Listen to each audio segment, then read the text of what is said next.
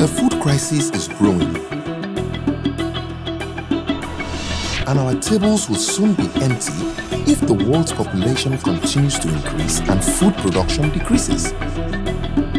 We're not producing enough for our population. I will do better if I can get source, financial source. To stop this dizziness in its track, Helen Paul and I, Frank Donga, visit the highlands and lowlands of Nigeria, connecting the food heroes on the front lines to experts who can solve their problems, position them to meet the growing demand, and unearth possibilities locked up in fallow grounds. This is Farm and Fortune. knows a lot about maize. The quality of seed affected my yield. If I have the good seed, it boosts my production. But if the seed won't allow him to be great, can he achieve much? Hello and welcome. This is Farm and Fortune. On today's episode, we'll be going all the way to Niger State to meet a maize farmer. You know, maize is a staple in Nigeria. Hello, welcome to Farm and Fortune. My name is Helen Paul. And I'm Frank Donga. I need to go and do my interview. My guests are around. So, ladies and gentlemen, I'm taking a flight to Niger. Helen Paul with Trek. Let's go to Niger State. Let's go. When his parents passed on a farm, his siblings were not really interested. But Sunday Martins Ibrahim stepped up to the challenge of farming. But he didn't do it anyhow. First, he went to school to study crop production and then returned to show them how maize farming is done as a real G. My father was a farmer, and after his uh, death, I took up the challenge. We are now in number, and it's only me that can go into the production that can, can took from, the, from his farm. I went back to school again and studied crop production in order to know the time of application of fertilizer the type of uh, input I'm going to use in my farm and the right time for the planting and harvesting of my crop. A whole crop production expert who can choose to farm any crop he likes. Why maize? Why?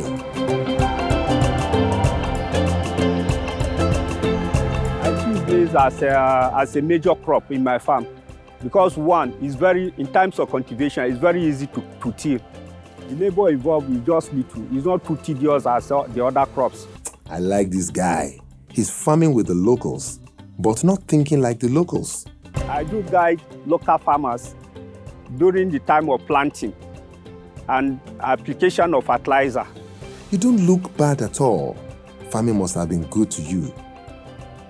Maybe I should start farming too, Seth. My father used this to sponsor the rest family when he was alive. My name is Mr. Sunday Ibrahim. I'm a maize farmer. I have in the studio today Dr. Vincent Aduramigba Modupe, who works at the Institute of Agricultural Research and Training in Ibadan. Good to have you, sir. Thank you very much, moderator. Uh-uh. You're smiling. You, it's so, as a doctor, doctor in soil in what is it called? Doctor of soil. of soil. yes, not of the, the ground. Yes. Good to have you on Farm and Fortune. Thank you. Why do farmers like Sunday Martins need someone like you, a professional? Well, actually, soil is the basis of agriculture. Hmm. Why? Because you can have good inputs, but if you have a bad soil, it's as good as you are going to have negligible yield that will lead to poverty. So every farmer must come to people like you first so that you help them check their soil? Yes, to know what is there, we can give them expert advice on what to grow and how to get the best yield out of their labor. I have another visiting expert from the Nigeria Institute of Soil Science, and she'll be unveiling to us the secret hidden in Mashegu area of Niger State. Let's go to Mrs. Agatha Christie. Over to you.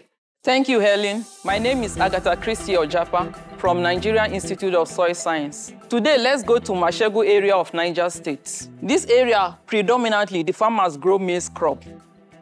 And from the soil fertility summary, we can look at, we can see some of the limiting macronutrients and micronutrients. The major limiting macronutrients are available phosphorus, calcium, and total nitrogen. Why the micronutrient that limits the production in this area is boron. Let's go to the soil fertility status.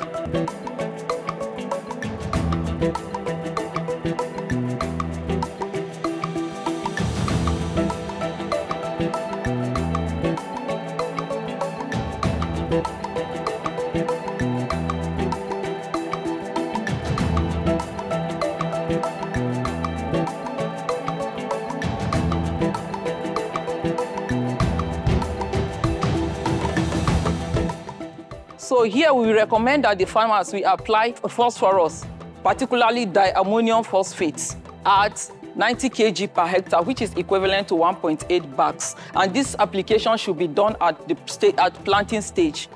While urea can be used in order to supply more nitrogen that the crop needs. And this urea application is normally applied as top dress. And about 80 kg per hectare is needed to improve the yield in this area, which is equivalent to 1.6 The urea also can also be applied at the second stage at 80 kg per hectare, which is also equivalent to 1.6. And this application is normally done at 45 days after crop emergence.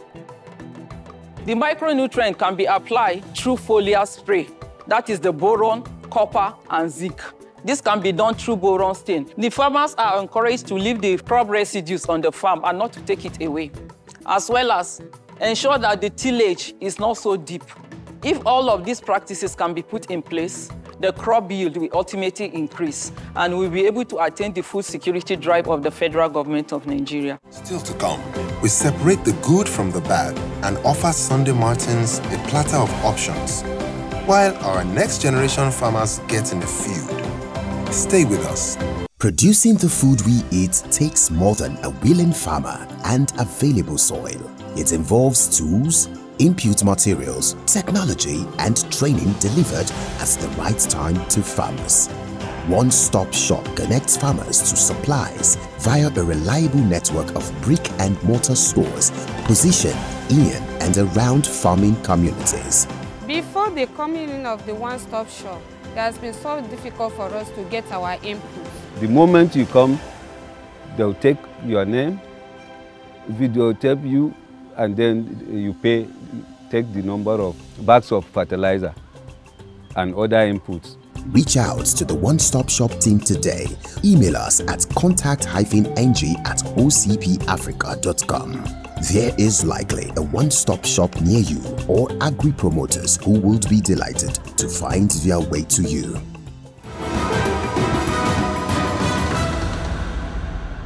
You know how we do it on the DIY section. We have our next gen farmers. And with me, I have Bolanle Okeya. That's me. Yeah, she's a um, content uh, executive, a media person. You work in the media, right? Content associate. Content associate. And you also like, you know, Home gardening. Home gardening. Yeah. Interesting, beautiful. I have uh, Timileyin Olasoji. He's a civil engineer. He's also into the retailing of uh, crops and farm uh, produce. That's interesting. Fantastic. So, what exactly, what problem are you going to, going to solve for us today? Okay. Um, on this episode of the DIY, what we're going to be doing is we're going to show you how to identify bad seed and good seed. Interesting. Okay. So Bolanle and Timileyin are going to show us how to identify good seeds from bad seeds with just simple things you can find at home. While our um, next gen farmers are doing their thing, let's go over to EB in Mashegu local government of Niger and see what Sunday Martins is all up to. We'll be right back.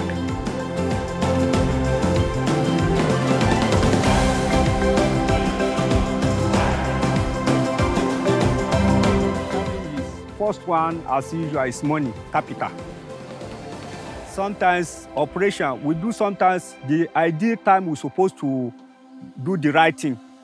If there is no money, sometimes we fall out, things fall apart because if you don't have money for you to bring laborers to the farm, it's always very terrible.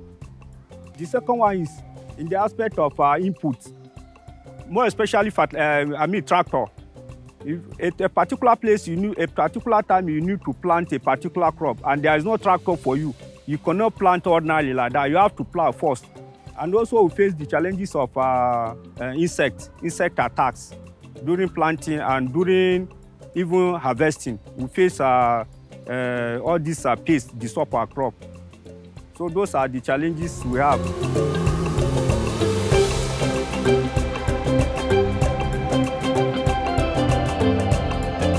Sometimes we bought uh, seed from market, and sometimes from this uh, these agrochemical people that sells. See, I cannot differentiate it. until maybe, maybe after harvesting.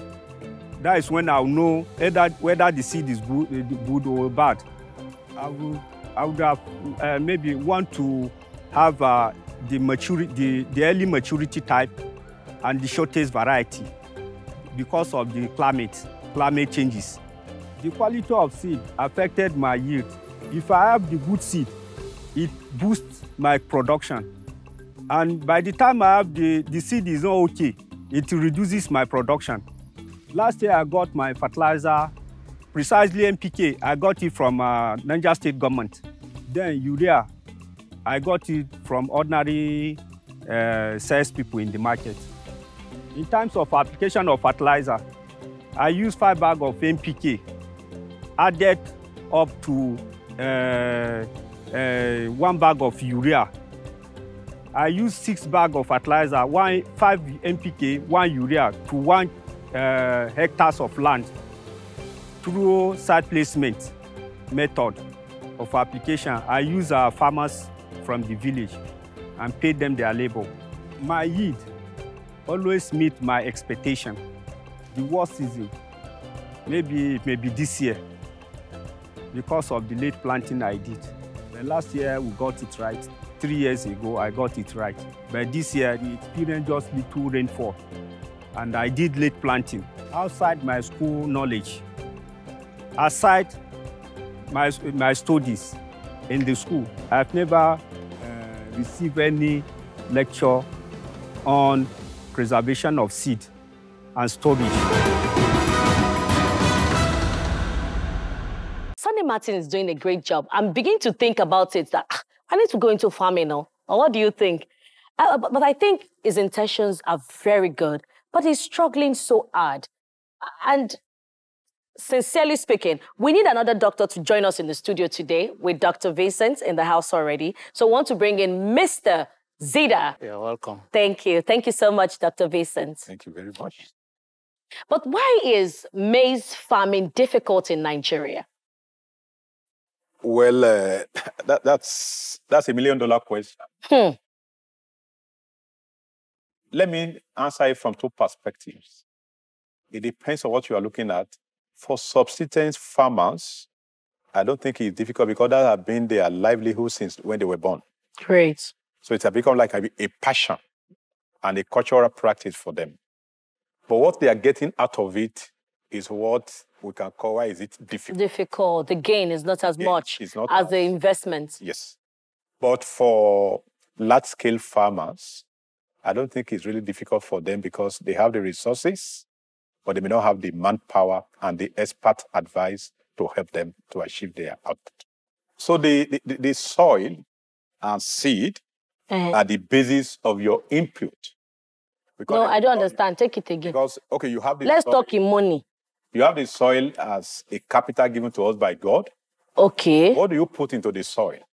Hmm. Investments of money. and your fertilizer. That's right. So that's what we it now leads to what we call return on your investment. Investments. So if you don't invest on quality seed and also appropriate fertilizer and good agricultural practice, That is why we advocate that before you go into farming, one, like he said, the soil, very important. Must be properly checked. It has to be checked. Tested. You have to test it to know That is good enough. level of nutrients In it. in the soil, One. whether it will be able to sustain the crop that Great. you want to uh, plant. Plants.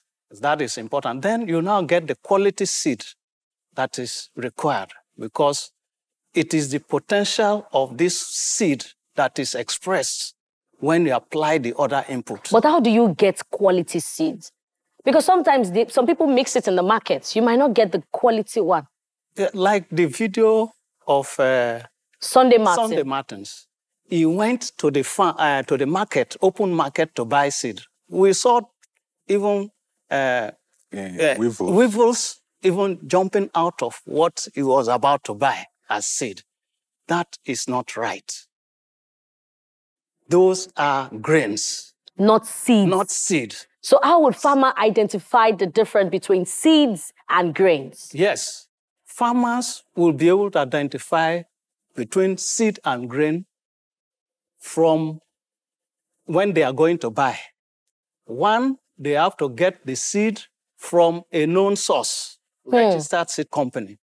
And for them to know, they have to look out for the National Agricultural Seed Council certification tag. Great. Now, the Seed Council has improved on this tag. We now call it Seed Codex. This Seed Codex is like the in the pharmaceutical, you have this panel on the drug that you buy, which you scratch and send and uh, to a Yes, yes, to confirm how solid is it. We, We have now. in the seed sector. Great. So anytime a farmer is going to buy seed, you should watch out for that seed codex. For the label. For that label, where you will scratch and send the number to a particular code. So you now wait. Now you You scratch it. the- yes, Then they have to reply you. Within And it's raining in the market. The reply will come. Okay, a few seconds. Okay. Yeah, it will reply. It will reply you. Great, and great. You now see that okay, this product you are buying Is authentic, authentic and it's and good. It's of good quality. Great. Thank you so much. Thank you. Here with us, our next gen farmers. They are going to show us how to determine good seeds from bad seeds. So, you guys, fire away. Let me see what you want to do. We're using corn seed. We are for calling, this- using corn seed for, for this. this For this. experiment. But it works for any other kind of seed too that you want to plant. most- most most- most most seeds, seeds, like this. Okay, beautiful. So we call it we pour the corn inside the water. No. Oh wow. Then naturally, you see some corns will float on the water. Coming up. Hmm. Oh wow. There's some are floating already. Yeah, Yeah. tho- those ones that are sank at the bottom of the bowl are the good seeds. Oh nice. Now the ones that are floating are the bad ones. They are not good for planting. Oh. So the ones that are sank at the bottom of the seeds, at the of the bowl, you get them out and you can use it for planting. purpose. Interesting, interesting. Let me share a little tip with you, something I also know myself. Okay. How to store some of these seeds in case you are not even ready to plant them. You know, you can always take part of the seed, this same plastic bag that you have, you know, you can still use it and put the seeds in the plastic bag and put it, as long as it's airtight, and put it where? In the, you can freeze it. Freeze it, exactly. Thank you very much, guys. You guys have been amazing on the show. So that's our next gen farmers. They've been telling us how to differentiate good seeds from bad seeds. Give it a try, huh? Check it out. Try something yourself. Tag us, upload it on your social media handles, and tag us at Farm and Fortune on YouTube if it's a video clip, Instagram if it's a picture or a video clip. Let's see what you're up to. Uh, and on the other side now, Helen is going to be telling us what Sunday Martins can do to improve what he's doing. Let's check it out. Why are seeds so important, sir? Mr. Zida? Seeds are so important because, like I said earlier, it mm-hmm. is the starting point of crop production. Once you are able to get the seed right, you have solved the problem of crop production up to 50% because it determines the returns to investment up to that 50% once you get the seed right. And all other inputs contribute to actualizing the potential of the seed Great. itself. Great. Be it fertilizer, the management practices, water, irrigation water, whatever you put is to boost Mm. the seed to express its poten- potential, Potential. to the maximum. Seed is a living material. Mm. So by the time you put In the boots. in the boot, Doesn't get you the fresh air. the- uh, you get to the house, uh, they are welcoming you. Forgot that you have seed Seeds in the boots. You keep it overnight. That singular overnight keeping of the seed in the boot is enough to destroy it. So we need to tell our So farmers that when they go and get their farmers. that when they go to get their seeds, they should not let heat catch the seeds. Yes. They should put it back seat and on the AC. maintaining the quality, one, you have to ensure that at the time that you harvest the seed, it is it has attained its uh, maturation, Mature stage. and that you don't harvest the seed with infected, with infestation happening even right from the field, because what you bring out from the field is what you will store. So Mm. and once it, And if it's infected, it's not good. From the field, what you will keep in the store will not stay long. So Before it first and foremost, destroyed. you have to ensure that there is uh, the seeds are left to maturation properly. properly, and where you have the highest potential in everything. Uh, my doctor. And thank you, Mr. Zida. Still fam and fortune. And of course, we're talking about agriculture generally. Right now, we've been, you know, we've been talking about soil inputs and all of that. There's no way we talk about soil inputs without talking about fertilizer. We have someone from FEPSAN as an expert. Let's welcome Mr. Gideon. Thank you. What is the role of FEPSAN in ensuring farmers in Nigeria have access to the right fertilizers? Thank you very much. Uh, is the Fertilizer Producers and Suppliers Association of Nigeria. Uh, like our name implies, um, we're committed to ensuring that um, we produce Okay. and supply or distribute fertilizers to farmers. Uh, our role is critical to the extent that um, everything that re- that has to do with fertilizers and production in country uh, rests on FEPSAN.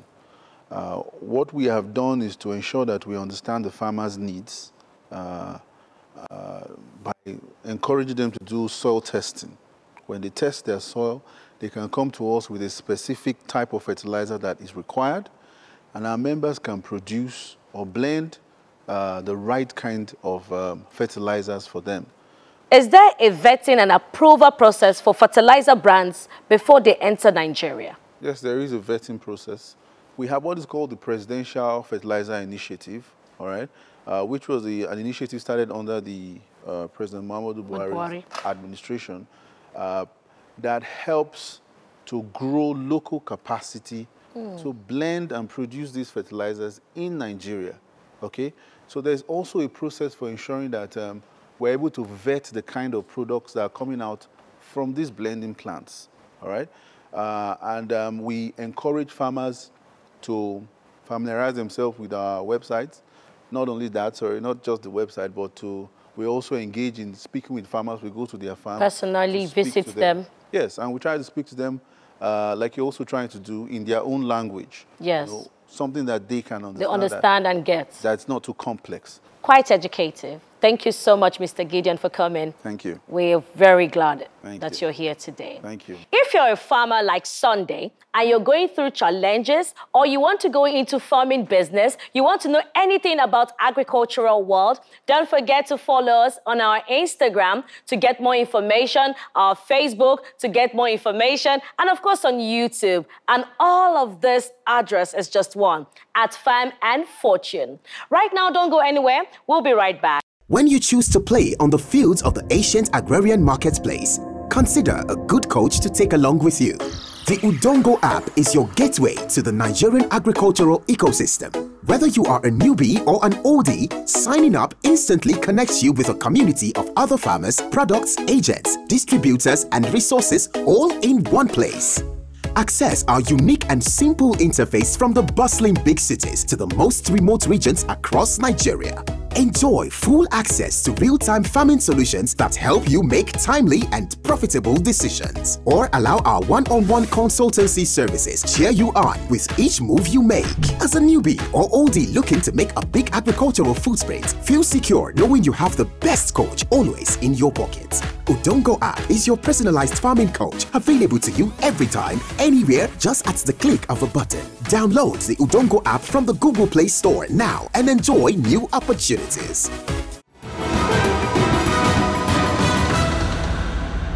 It's Farm and Fortune, guys, and it's game time. And on Game Time on Farm and Fortunes for today, I have our new gen farmers, Bolanle and Timileyin. So they're going to be competing for a cash prize in farm inputs of 50,000 naira, courtesy of Farm and Fortune. Are you ready? Yes. All right, Bolanle and Timileyin. Which of these is not a type of berry? A. Silverberry. B. Moonberry. C. Blackberry. Silverberry. Sorry, that was the wrong answer. Next question. Which of these is a type of onion?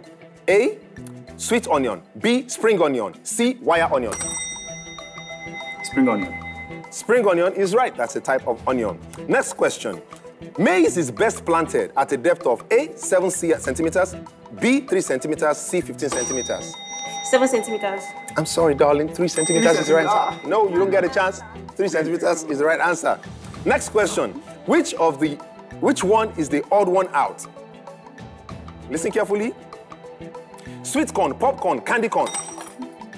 Candy corn. Candy corn. Candy corn. Candy corn. Candy corn. Candy corn. Candy corn. Who pressed the bell first? Candy corn. Candy corn. I pressed the first. My judges are taking notes. Which of these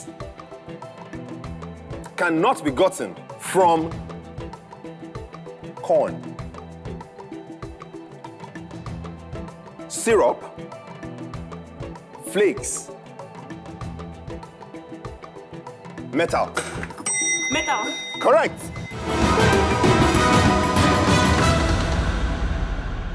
Welcome back. It's Farm and Fortune. And Bolanle and Timileyin are slugging it out for who's going to win the star prize of 50,000 naira worth of farm input, courtesy of Farm and Fortune. In the first round, it was a tie. So I'm going to ask a deciding question to find out who the winner is. Are you ready? Which of these cannot be directly gotten from bees? A. Honey. B. Wax. C. Money. Money. Cool, we have a winner. Congratulations, Timileyin. Oh, nice, nice sportsmanship. So, Timileyin has won the star prize for this game at the, the, the game segment of Farm and Fortune. He's won 50,000 naira worth of farm inputs. And that's it. All right, we'll be right back. Stay with us. We have more for you on this show. Don't go anywhere. It's been wonderful in the studio today. I've learned so much on farm and fortune, and I'm sure you've learned as well. But do you know that we try out new things all the time? And especially today, I enjoyed myself. to catch more of these clips on YouTube, Facebook, Instagram, don't forget to follow at Farm and Fortune. And join us same time, same station, next week for another interesting episode. Until then, I'm Frank Donga. See how you're standing you As if you're as from. This is Fam and, and fortune. fortune.